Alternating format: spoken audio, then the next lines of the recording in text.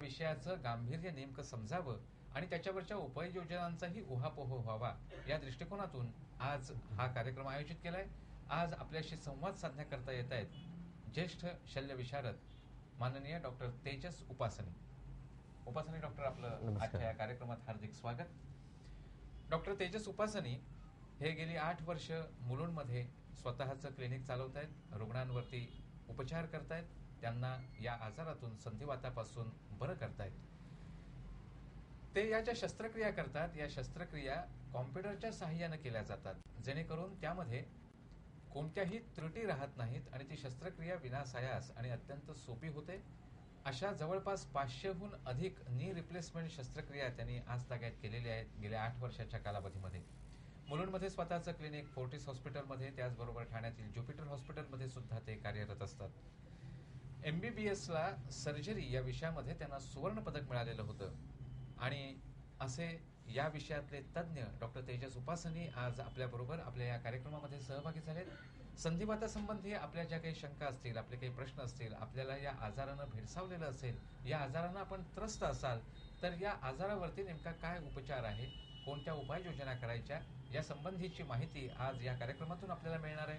आणि त्यासाठी आपण थेट डॉक्टर तेजस उपासनी यांच्याशी संवाद साधू शकता. त्यासाठी आमचे दूरध्वनी क्रमांक दोन पाचशे अडतीस बावीस बावीस दोन पाचशे बेचाळीस बावीस बावीस किंवा दोन पाचशे पंचेचाळीस बावीस बावीस या दूरध्वनी क्रमांकावर आपण थेट संपर्क साधा आणि संवाद साधा डॉक्टर तेजस उपासनी यांच्याशी. डॉक्टर पुन्हा एकदा या कार्यक्रमात आपलं हार्दिक स्वागत. संधिवात दिन बारा ऑक्टोबर हा आहे. त्या अनुषंगानं या विषयामध्ये आपण खूप शस्त्रक्रिया केलेल्या आहेत खूप रुग्णांशी थेट संवाद साधलेला आहे त्या रुग्णांच्या समस्या आपण जाणून घेतलेल्या आहेत. या अनुषंगानं एक संधिवात म्हणजे नेमकं काय? अ, संधिवात म्हणजे असं नुसतं म्हटलं तर कुठल्याही सांध्यांमध्ये होणी दुखी ह्याला आपण संधिवात म्हणू शकतो. त्याचे पण असे ते वेगवेगळे प्रकार असतात. आम्ही म्हणतो त्याला एक जो सगळ्यात सामान्य संधिवात जो आहे त्याला ऑस्टिओ आर्थरायटिस म्हणतो. म्हणजे जे वयानुसार होणारी गुड गुडघे किंवा सांध्यांची झीज. मग बाकी जे दुसरे प्रकार असतात म्हणजे रुमोटॉइड आर्थरायटिस त्याच्यामध्ये शरीरातले सगळ्याच सांध्यांमध्ये त्रास होतो आणि हे कमी वयात आणि जास्ती करून बायकांमध्ये दिसून येतो. आणखीनही वेगवेगळ्या प्रकारचे वात असतात जसं गाऊट येतं किंवा अँकेलोझिंग स्पॉन्डिलायटिस हे जे वेगवेगळे वाताचे प्रकार आहेत त्यांचे जे सिमटम्स किंवा ज्यांचे जो त्रास होतो तो पण थोडा थोडा वेगळा असतो. मग त्या त्याच्याप्रमाणे आपण जाणू शकतो का कुठल्या प्रकारचा संधिवात आपल्याला आहे? वयोमानानुसार येणारा जो संधिवाताचा त्रास आहे गुडघेदुखीचा जो त्रास आहे तो आपण समजू शकतो की अधिक झीज झाली म्हणून. येत असतो किंवा वजन जास्त असेल तरी त्यामुळे तो येऊ शकतो. पण जर अवेळी म्हणजे तरुण वयामध्ये जर असा संधिवाताचा त्रास होत असेल तर त्याची काही कारणं असू शकतात आणि मग त्याच्यावरती नेमक्या उपाययोजना काय? मी जसं तुम्हाला म्हटलं का आता वयानुसार होणारा सगळ्यात कॉमन किंवा सामान्य आहे पण रुमटॉइड आर्थरायटिस म्हणजे ज्याच्यामध्ये सुरुवात जी होते ती हातांच्या सांध्यांनी होते आणि म्हणजे सकाळी उठल्यावरती अंग एकदम अकडून जातं हाताला किंवा बाकीच्या सांध्यांना सूज येते. सो त्याच्यासाठी पण आजकाल इतके चांगले औषधं आणि औषधोपचार आहे का ते जर बरोबर केले आपण तर पुढे जास्ती सांधे झिजत नाहीत आणि वात हा कंट्रोलमध्येही राहतो. म्हणजे जसं आपण डायबिटीज शुगर कंट्रोलमध्ये ठेवतो तसा हा वात पण कंट्रोलमध्ये ठेवता येतो औषधांनी. आणि रेग्युलर त्याचा फॉलोअप ठेवला रेग्युलर त्याची औषधं घेतली तर सहसा पुढे जाऊन त्रास होत नाही. कारण आधी जेव्हा आपल्याकडे एवढी चांगली औषधं नव्हती तेव्हा आपण बघितलं तसं वेडी वाकडी झालेली बोटं दिसायची काही काही लोकांचे पाय वाकडे. असं आता कारण चांगले उपचार आहेत चांगली औषधं आहेत सहसा तरी एवढा तो खराब होत नाही. गुडघेदुखी हा त्रास सहन करत करत माणूस थकून जातो. आणि मग शेवटचा पर्याय असतो की गुडघा बदलणं नी रिप्लेसमेंट. ज्या तुम्ही पाचशेहून अधिक शस्त्रक्रिया आजपर्यंत केलेली आहेत. आणि आठ वर्षात मी तर म्हणेन पाचशेहून अधिक शस्त्रक्रिया म्हणजे हा एक विक्रम असंच हो. म्हणावं लागेल आणि कौतुकाची गोष्ट आहे. तुम्ही साधारणपणे गुडघा बदलायला हवा हा निर्णय कधी घेता? म्हणजे त्यासाठी तो नैसर्गिक गुडघ्याची अवस्था काय व्हायला पाहिजे? सहसा काय पेशंटला स्वतःहूनच कळतं का आपल्याला आपले दैनंदिन व्यवहारातही त्रास होतोय. समजा नुसतं समजा दाराची बेल वाजली तरी उठून दार उघडायला जाणं पण जेव्हा त्रासाचं होतं तेव्हा पेशंट स्वतःच तयार होतो का? ऑपरेशनची गरज आहे.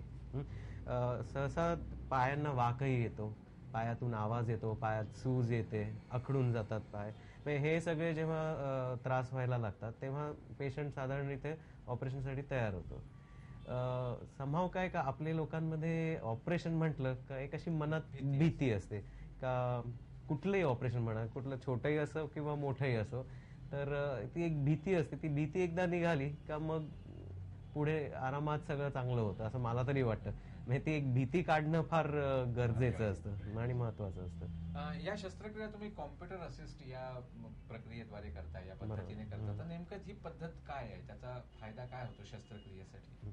म्हणजे सहसा जे आम्ही ऑपरेशन करतो म्हणजे त्याच्यामध्ये हे जे ऑपरेशन आहे हे accuracy-वरती अवलंबून आहे. जितकं ॲक्युरेटली आपण करू तेवढं ते जास्ती चालेल. आणि तेवढी चांगली रिकव्हरी होईल. आणि आमच्या मेडिकल लिटरेचरच्या हिशोबाने तीन डिग्रीची ॲक्युरेसी मिळायला पाहिजे. जेव्हा आम्ही ते बोन्स कट करून जे सांधा कृत्रिम सांधा घालतो तेव्हा. आता तीन डिग्री हे आपल्या नुसत्या डोळ्यांनी दिसून येणं किंवा कळणं एवढं सोपं नाही. तर त्याच्यामध्ये कम्प्युटर आपल्याला मदत करतं. की आपल्याला around point five M M आणि पॉईंट फाय डिग्री एवढी ॲक्युरेसी मिळते. सो ऑलमोस्ट परफेक्टली अलाइनमेंट मिळतं आपल्याला जो आपण कृत्रिम सांधा घालतो त्याचं. आणि त्यामुळे रिकव्हरी चांगली होते पेशंटला दुखणंही कमी होतं. आणि जो आपण सांधा घालतो त्याचं जे एज असतं की त्याचं जो ते किती वर्ष चालेल तेही जास्ती होतं. कारण आपण ते परफेक्टली घातलं आहे सांधा म्हणून. दर्शक हो वय होत जातं. ज्येष्ठ नागरिकांची ही विशेष करून अधिक समस्या आहे की वयोमान परत्वे सांध्यांचा त्रास अधिकाधिक जाणवू लागतो. आणि विशेष करून गुडघ्याचा त्रास हा जास्त करून जाणवतो. जेणेकरून चालणं अशक्य असतं खाली बसणं अशक्य असतं आणि एकूणातच सगळे व्यवहार अडचणीचे ठरू शकतात. अशा त्रस्त झालेल्या सांधेदुखीने हैराण झालेल्या रुग्णांसाठी आजचा हा कार्यक्रम आहे. या कार्यक्रमामध्ये आपणही सहभागी होऊ शकता. आपल्या शंकांचं निरसन होईल. आपल्या प्रश्नांना योग्य ते उत्तर मिळेल. त्यासाठी या विषयातले तज्ज्ञ डॉक्टर तेजस उपासनी आज आपल्या बरोबर आहेत. आणि संपर्क साधण्यासाठी दूरध्वनी क्रमांकही आपल्या टीव्ही स्क्रीनवर आपल्याला दिसत आहेत दोन पाचशे अडतीस बावीस बावीस दोन पाचशे बेचाळीस बावीस बावीस किंवा दोन पाचशे पंचेचाळीस बावीस बावीस यापैकी कोणत्याही दूरध्वनी क्रमांकावर आपण थेट डॉक्टर तेजस उपासनी यांच्याशी संवाद साधू शकता. डॉक्टर गुडघेदुखी संदर्भात जे आपण सांगत होता की त्याला काही गुडघा बदलला जो जातो नी रिप्लेसमेंट जी केली जाते त्याला वयाची काही मर्यादा असते का? सहसा अशी काही नसते. जर आता पेशंटला त्रास खूपच होत असेल तर काहीच मर्यादा नाही. पण सहसा आम्ही म्हणतो का पंचावन्न किंवा साठी नंतर केलेलं जास्ती चांगलं. पण पेशंटला जर समजा खूपच त्रास असेल मी जसं म्हटलं ना तर जे रुमटॉइड आर्थरायटिस असतात ते तरुणपणापासूनच त्यांना त्रास होतो तर त्यांना आम्ही लवकरही करू शकतो. अ, तसं बघायला गेलं तर मला वाटतं मी यंगेस्ट ऑपरेट केलेली patient forty five years old आहे. म्हणजे कारण तिला त्रासच एवढा होता का दुसरा काही उपायही नव्हता. सो आणि हा ऑपरेशन केल्यानंतर त्यांचे जे लाईफस्टाईलमध्ये इतका बदल होतो त्यांना इतकं बरं वाटतं. रिलीफ एवढं म्हणजे पेन किलर घेण्याची काहीही गरज भासत नाही. ऑफकोर्स थोडे दिवस म्हणजे जेव्हा ऑपरेशन नुकतं झालं असतं तेव्हा थोडे दिवस पेन किलर घ्यावे लागतात. पण त्यानंतर पेन किलर घ्यायची काही गरज पडत नाही. ज्या पेशंटचा आता तुम्ही उल्लेख केला त्या पेशंटला दोन्ही गुडघ्यांना त्रास होत होता की एकाच? नाही एकालाच जास्ती त्रास होता. तर त्यांचं एकाच पायाचं ऑपरेशन केलं होतं पण दुसरा नॉर्मल आहे. दुसरा नॉर्मल आहे. असंही होऊ शकतं हो हो. कारण त्यांनी तेव्हा मे बी ते रुमटॉइडच्या गोळ्या औषधं घेतली नव्हती. म्हणून एका गुडघ्याला जास्ती त्रास झाला. फक्त फक्त एकच गुडघा बदली केलेला. पण सहसा जे वयानुसार जीज होते ते दोन्ही गुडघ्यांमध्ये त्रास होतो. सो त्यांच्यासाठी दोन्ही गुडघे बदली करावे लागतात. हे गुडघे बदलल्यानंतर नी रिप्लेसमेंट नंतर तो कृत्रिम आहे. तर त्यामुळे काही वेगळे गोष्टी घडतात का? त्याचं ते जाणवतो का त्याचा कृत्रिमपणा? मी म्हणेन ऑफकोर्स जेव्हा नवीन असतो सांधा तेव्हा थोडंफार वाटू शकतं थोडा बदल वाटू शकतो थोडासा जडपणा वाटू शकतो. पण जसजसं पेशंट चालतो जसजसं त्याचा वापर करतो तर त्यांना काहीही जाणवत नाही. म्हणजे आपल्याला ऑपरेशन केलेला पाय आहे असं काही त्यांना वाटतही नाही. कधी कधी आम्ही त्यांना ऑपरेशन नंतर खाली बसायचं नाही सांगतो. पण ते इतके नॉर्मल होतात का ते चुकून खाली बसतातही. पण इट इज ॲडवायझेबल नाहीच आहे खाली बसणं ऑपरेशन केल्यानंतर. पण म्हणजे, मी असं कृत्रिम असल्यामुळे काही प्रॉब्लेम तर काहीच येत नाही पेशंटला मी म्हटलं तसं थोडे दिवसच जाणवतं पण त्याच्यानंतर काही जाणवत नाही.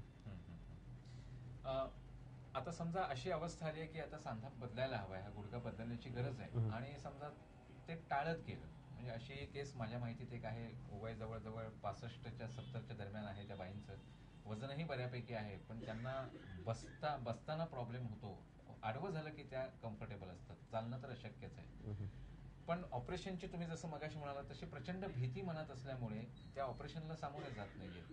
तर असाच पद्धतीने आहे हा नैसर्गिक गुडघा त्या वापरत राहिल्या तर त्याचा शेवट नेमका कसा असेल?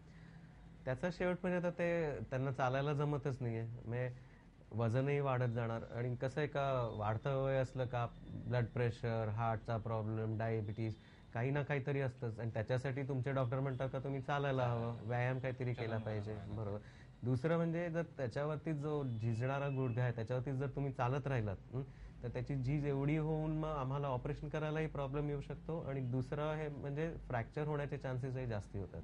कारण त्या पायाला वाक आल्यामुळे त्याचे जे स्ट्रेसेस नॉर्मल असतात ते नॉर्मल सारखे नाही राहत. आणि मग फ्रॅक्चर होऊ शकतं. आणि मग जर फ्रॅक्चर झालं तर मग आपल्याला मग इमर्जन्सीमध्ये ऑपरेशन करायला लागतं. सो त्याच्यापेक्षा बरं असं आहे का त्रास होत असेल जास्ती तर नीट प्लॅन करून आपल्याला ते करता येईल. आणि मग कधी कधी असंही होतं का वय खूप झाल्यानंतर मग आम्ही पण जरा म्हणतो का आता एवढं जास्ती वयामध्ये हे ऑपरेशन करण्यात एक काही फारसा अर्थ नाही. जे तुम्हाला पेन फ्री राहता येईल किंवा जे एन्जॉय करता येईल तुमचं लाईफ ते क- खूप वाढत्या वयात करण्यात काय अर्थच नाही आहे म्हणजे जर योग्य वेळी नी रिप्लेसमेंटच्या शस्त्रक्रियेला सामोरं गेलं नाही तर त्यानं तो सांधा आणखी खराब होऊन ते ऑपरेशन नंतर अधिक कठीण होऊ शकतं. आणि जसजसं वय वाढत जातं आणि या गोष्टीची टाळाटाळ केल्यानंतर वाढलेल्या वयाचा विचार करून डॉक्टर सुद्धा मग जर तुम्ही ऑपरेशनचा निर्णय घेणार असाल तर त्याला कदाचित थोडेसे मागे हटू शकतात. याचाच अर्थ एवढाच की जेव्हा डॉक्टर आपल्याला योग्य वेळी या संदर्भामध्ये नी रिप्लेसमेंटची गरज आहे हे सांगतात तेव्हा ती योग्य वेळी करून घेणं हे नक्कीच योग्य आहे. ज्या ऑपरेशनमध्ये तसा काही धोकाही नसतो. फारसा काहीच धोका नसतो कारण आजकाल अॅनस्थिसिया इतकी चांगली झाली आहे. का जनरल अॅनस्थिसिया तर लागतच नाही. फक्त कमरेखालचा भाग आम्ही सून करतो. त्याच्यानंतर एक बारीक नळी असते कमरेमध्ये. त्याच्यातून आम्ही औषधं देतो ज्याच्या जेणेकरून ऑपरेशनचं दुखणंही हो- फार कमी राहतं. आणि साधारण दुसऱ्या दिवशी पेशंट उभा राहतो तिसऱ्या दिवशी चालायला लागतो पाचव्या दिवशी पाचव्या किंवा सहाव्या दिवशी घरीही जातो? म्हणजे जास्तीत जास्त एक एक. बरोबर. म्हणजे फार जी भीती असते ती म्हणजे उगाच भीती असते लोकांच्या मनात. आणि काय का आणि मी हे सगळ्या पेशंटना सांगतो का असं नाही का ऑपरेशन केलं आणि लगेच तुम्ही एकदम चांगले होणार. त्याला थोडासा तर वेळ लागणारच रिकव्हरी व्हायला. एक तर वय पण जास्तीच असतं. तरी मी म्हटलं साधारण महिना दीड महिन्याभरात तुम्ही फार इम्प्रूव्ह होतात. तुमचं जे ऑपरेशनचं जे दुखणं असतं ते थोडंफार राहतं. साधारण महिना दीड महिना सूज राहते. पण ते हळूहळू जसजसा दिवस जातो तसतसं ते हळूहळू इम्प्रूव्ह होत जातं. कारण काय काय कधी वेळेस काय होतं का पेशंट कोणाकडनं तरी ऐकतं का माझं ऑपरेशन झालं आणि मला अजूनही दुखतंय.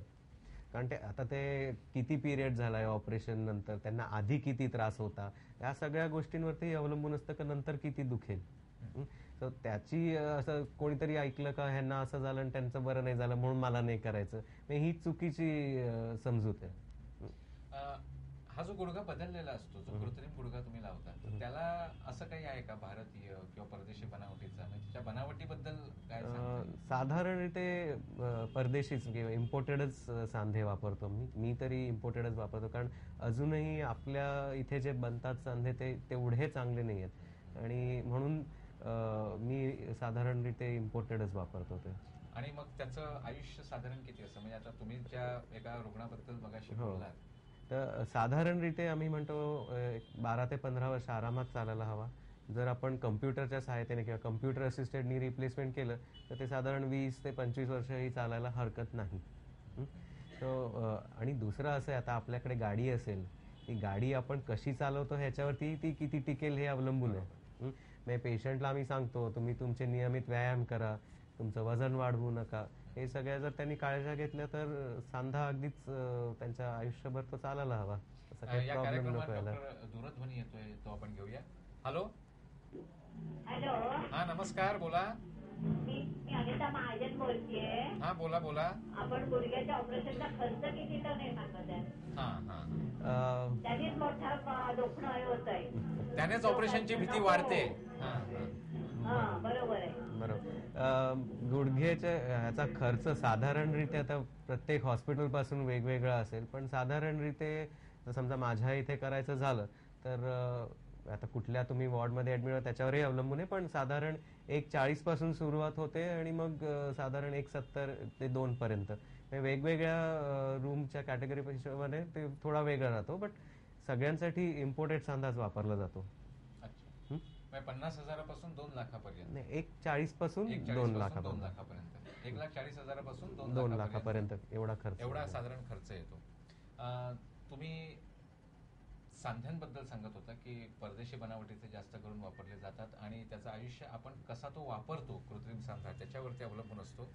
पण सांध्याचं सांध्याचे हे बदल हे एकाच प्रकारचे असतात का? अर्थात या प्रश्नाचं उत्तर देण्यापूर्वी आपण येणारा दूरध्वनी आधी घेऊया. Hello hello. हा नमस्कार बोला.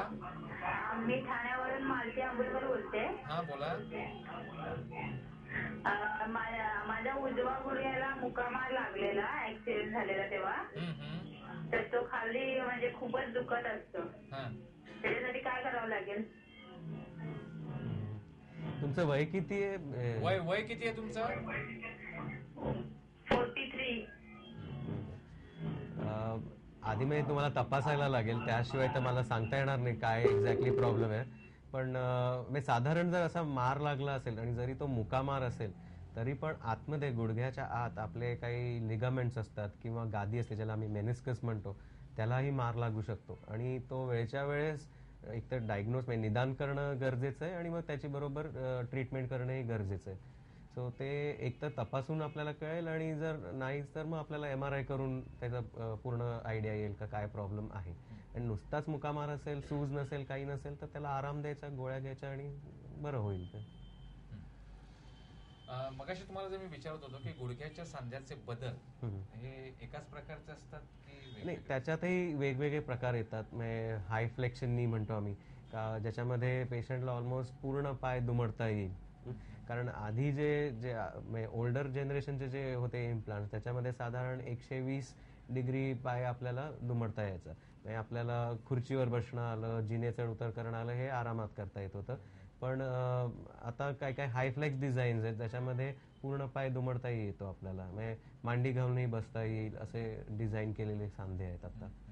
सो हे असे नवीन नवीन अजून ऍडव्हान्समेंट चालूच आहेत. आणि इम्पोर्टेडमध्ये पण असे बरेच हाय फ्लेक्शननी म्हणतो आम्ही त्याला. त्याच्यामध्ये पेशंट पूर्ण पाय दुमडूही शकतो. वयोमानानुसार जो संधिवाताचा त्रास होतो तो समजा होऊ नये असं जर अपेक्षा असेल तर त्यासाठी तरुण वयापासून वय होईपर्यंतच्या ज्येष्ठ वयाला येईपर्यंतच्या कालावधीमध्ये साधारण या संदर्भामध्ये कोणते काळजी घेणं गरजेचं आहे? काळजा म्हणजे एकतर जर तुमचे गुडघे दुखत नसतील तर ॲज तुम्ही नॉर्मल तुमचे सगळ्या ॲक्टिव्हिटीज करू शकता. पण एकदा दु- गुडघे दुखायला लागले की खाली बसणं जितकं कमी ठेवाल तेवढं चांगलं. जिने चढउतर करणं पण कमी ठेवलेलं चांगलं. टॉयलेट पण इंग्लिश म्हणजे उभ्या पद्धतीचं वापरलेलं जास्ती चांगलं. तिसरं वजन जर जास्ती असेल तर ते कमी करणं फारच गरजेचं आहे. आणि मग व्यायाम करून एक्सरसाइज करून तुमच्या गुडघ्याच्या आजूबाजूचे जे स्नायू आहेत मसल्स आहेत ते मजबूत करणं पण गरजेचं पडतं. ह्या सगळ्या गोष्टींनी तुमच्या गुडघ्यांची झीज जास्ती होणार नाही. तुम्ही आतापर्यंत पाचशेहून अधिक शस्त्रक्रिया या संदर्भातल्या केलेल्या आहेत.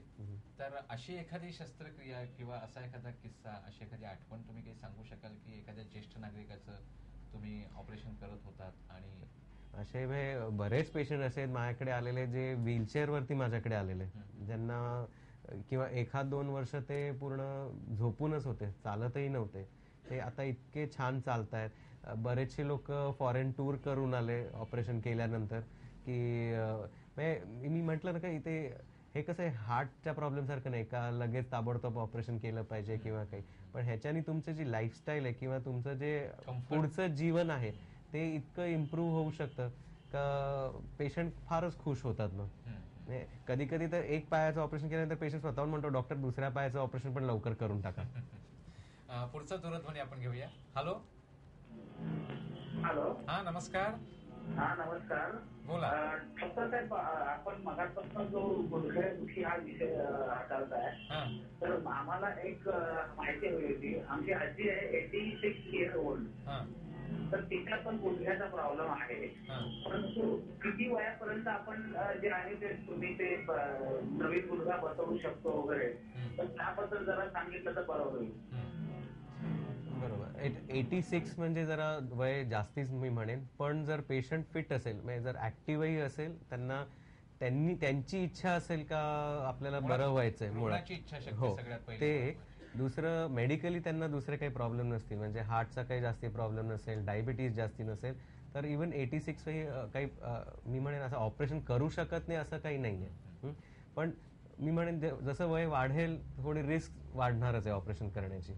कारण मी सगळ्यात म्हातारे एटी फोर इयर ओल्ड आजोबा होते त्यांचं केलंय ऑपरेशन आणि ते इतके असे दिवस ते धावतातच. मला त्यांना सांगायला लागतं का जर तुम्ही हळू चाला. आणि त्यांची गंमत अशी होती का त्यांच्या मिसेसनाही गुडघ्याचा त्रास होता. आणि त्यांच्या दोन्ही गुडघ्यांचं मी ऑपरेशन केलं. त्याच्यानंतर त्यांची मिसेस त्यांच्याशी भांडायला लागली का तुम्ही तुमचं ऑपरेशन करून घेतलं आणि माझं करत नाहीये. पण त्या त्यांच्या वयाहून लहान असल्या तरी त्यांना हार्टचा प्रॉब्लेम होता.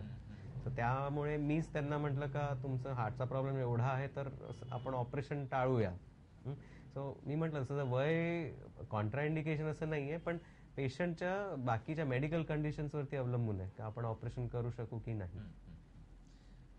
डॉक्टर या संदर्भामध्ये समजा एखाद्या रुग्णाला किंवा कुणाला तुमच्याकडून माहिती घ्यायची असेल तर तुमच्याशी थेट संपर्क साधायचा असेल तर त्यांनी तुम्हाला कुठे संपर्क साधायचा? माझा नंबर म्हणजे माझ्या हॉस्पिटलचा नंबर देतो मी. Six five one five two four one nine. So ह्या फोन नंबरवरती कॉन्टॅक्ट करून तुम्हाला आणखीन काही जर माहिती हवी असेल तर तीही मिळेल.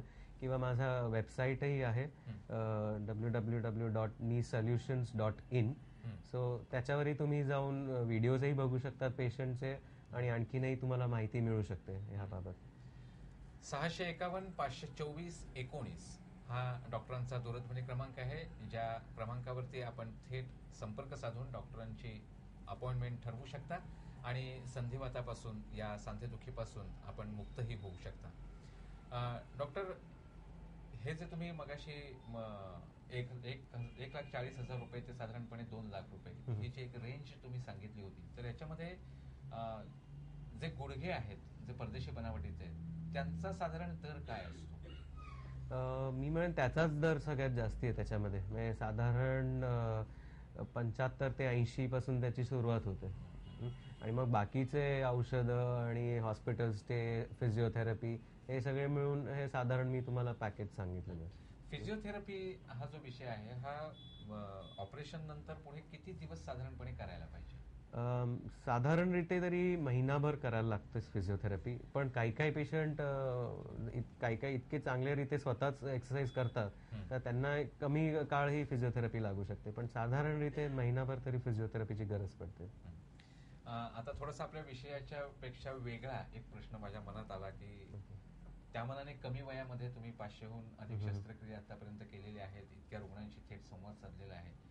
तर या संदर्भाचा अभ्यास जेव्हा तुम्ही करत होतात यातलं शिक्षण जेव्हा तुम्ही घेत होतात तेव्हा तुम्ही ही ऑपरेशन्स या शस्त्रक्रिया कशा पद्धतीने करत होतात शिक्षण घेत असताना? अं, शिक्षण घेत असताना तेव्हा. कम्प्युटर असिस्टेड अगदीच नवीन आलेलं. तेव्हा फक्त साधंच नी ऑपरेशन करायचंय त्याच्यानंतर मी जर्मनीला गेलेलो. तिथे पण जस्ट कम्प्युटर असिस्टेड सुरुवात झालेली. आणि तिथे मला बघायला मिळालं कम्प्युटर असिस्टेड कसं करतात आणि किती फरक पडतोय त्यांनी. आणि तिथे बघितलं त्याच्यानंतर मग ऑस्ट्रेलियाला मी ट्रेनिंग घेतलं ह्याच्यामध्ये. आणि मग ही चालू केली. पण जेव्हा मी ट्रेनिंग घेतलं तेव्हा हे कम्प्युटर तर नव्हतंच. नव्हती. सुविधाच नव्हती तेव्हा. कारण ती साधारणरीते आप- अं, भारतातच मला वाटतं दोन हजार पाच मध्ये आली असेल. आणि दोन हजार चारमध्ये मी जेव्हा जर्मनीला होतो तेव्हा तिथे सुरुवात झालेली. म्हणजे या पद्धतीनं शस्त्रक्रिया करण्यासाठी तुम्ही खास जर्मनी आणि ऑस्ट्रेलियाला जाऊन प्रशिक्षण घेतलं. बरोबर. आता कॉम्प्युटरच्या सहाय्यानं त्याच्या सुविधेमुळे जी शस्त्रक्रिया केली जाते ती त्रुटी कमी ठेवणारी असते अॅक्युरसी जास्त देते बरोबर. तुम्ही म्हणालात. तर जो सांधा लावला जातो. तो एकदा लावल्यानंतर तुम्ही कॉम्प्युटरच्या सहाय्याने जर त्याची ऍडजस्टमेंट थोडीशी कमी जास्त करायची असेल अलाइनमेंट कमी जास्त असेल तर ते तुम्ही करू शकता का? हो कारण कम्प्युटर जे आहे रिअल टाइम आहे म्हणजे आपण तेव्हाच्या तेव्हा ते बघतो तेव्हाच्या तेव्हाच आपल्याला काही जर त्रुटी वाटली तर ती आपण नीट करू शकतो. सो हे ऑपरेशनच्या जेव्हा चालू असतं तेव्हाच हे सगळं कंटिन्युअसली. सायमल्टेनियसली चालू असतं. म्हणून असं नाही का मी आता केलं मग बघितलं आणि मग काहीतरी परत करायचं असं नाही ते सायमल्टेनियसलीच चालू असतं. म्हणून जे फायनल जो रिझल्ट येतो तो चांगला येतो. साधारणपणे एका स्टँडर्ड रुग्णाच्या संदर्भामध्ये ही शस्त्रक्रिया किती वेळाची असते? साधारण एक ते दीड तास. एक ते दीड तास. वय आणि त्यात हा म्हणजे जर गुडघा हा गुडघा जर खूपच खराब असेल तर थोडा वेळ जास्तही लागू शकतो. पण साधारण दीड तास पण या. शस्त्रक्रियेमध्ये पहिला गुडघा पूर्णतः काढून टाकायचा आणि नवीन लावायचा. अशीच पद्धत आहे की त्याच्यावर दुसरं म्हणजे आम्ही काय करतो का जो आपला कुर्चा असतो आणि त्याच्याबरोबर थोडंसं हार्ड म्हणजे साधारण नऊ मिलीमीटरचं जे थिकनेस आहे तेवढं बोन काढतो आम्ही. म्हणजे त्याच्यासाठी वेगळे इन्स्ट्रुमेंट्स असतात ते कापून काढतो आणि त्याच्या जागी इम्पोर्टेड स्टील येतं. ते सिमेंटनी आम्ही फिक्स करतो बोनला. म्हणजे आपलं जे मांडीचं हाड आहे आणि खालचं जे दोन्ही बदलतो आणि वाटीचंही हाड बदलतो. म्हणजे हे त्याला आम्ही टोटल नी रिप्लेसमेंट म्हणतो. म्हणजे केवळ एक वाटी उचलून काढून टाकली आणि नवीन वाटी बसवली नाही. इतकं ते एवढं सोपं नाही. ते. दर्शक हो संधिवातानं आपण हैराण झालेले असतो. मग त्यासाठी कधी वयाचं कारण असतं किंवा कधी अनु अनुवंशिक कारणही असू शकतं. या संधिवातापासून आपल्याला जर त्रासमुक्त व्हायचं असेल तर त्यासाठी आज आपल्या या कार्यक्रमाच्या माध्यमातून डॉक्टर तेजस उपासनी यांनी आपल्याला मार्गदर्शन केलं आणि त्यांनी सांगितलं त्याप्रमाणे साधारणपणे एक लाख चाळीस हजारापासून साधारण दोन लाखापर्यंत या नी रिप्लेसमेंटचा खर्च येतो ज्यामुळं आपण पूर्णतः संधिवाताच्या या दुखण्यापासून सांधेदुखीपासून मुक्त होऊ शकतो.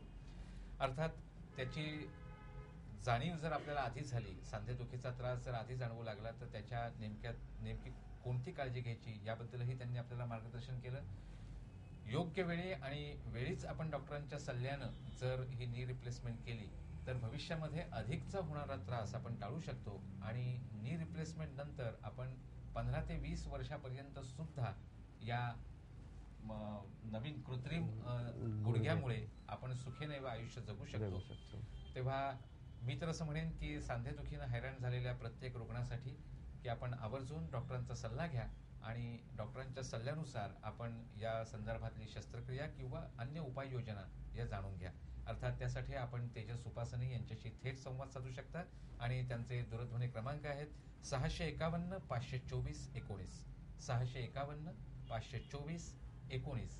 या दूरध्वनी क्रमांकावरती आपण थेट त्यांच्याशी डॉक्टर आजच्या या कार्यक्रमामध्ये आपण उपस्थित झालात आणि बारा ऑक्टोबरला येणाऱ्या जागतिक संधिवात दिनाच्या निमित्तानं संधिवात कारणं लक्षणं आणि त्याच्यावरच्या उपाययोजना यासंबंधी विस्तृतपणे माहिती दिली. याबद्दल सर्व दर्शकांच्या वतीनं आणि श्री स्थानक वाहिनीच्या वतीनं आपले मनपूर्वक आभार. धन्यवाद. दर्शक हो संधिवातापासून आपण मुक्त व्हा. येणाऱ्या बारा ऑक्टोबरला संधिवात दिन आहे पण हा संधिवात दिन साजरा करण्याची वेळ आपल्यावर येऊच नये यासाठी आपण दक्ष राहा. आणि योग्य वेळी आपण डॉक्टरांचा सल्ला घेऊन यावरती उपाययोजना करा. पुन्हा भेटणारच आहोत पुढच्या कार्यक्रमात तोपर्यंत नमस्कार मंडळी.